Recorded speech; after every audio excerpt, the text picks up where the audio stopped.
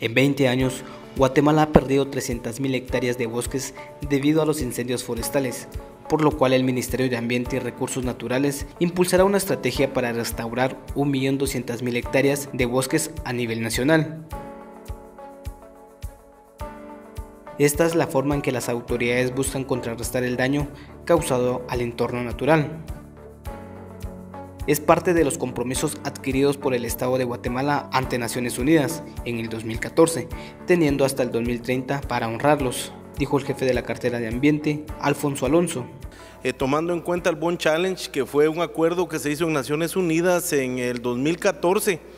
eh, tenemos toda una estrategia para restaurar 1.200.000 hectáreas de bosques, que es el compromiso que tiene Guatemala ante Naciones Unidas de aquí al año 2030.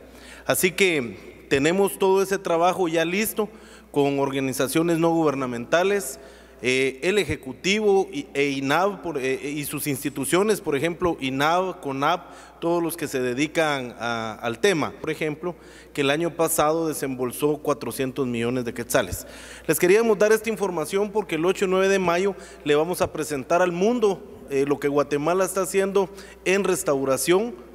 eh, y la recuperación de nuestros bosques, especialmente en la selva eh, de Petén, en la RBM,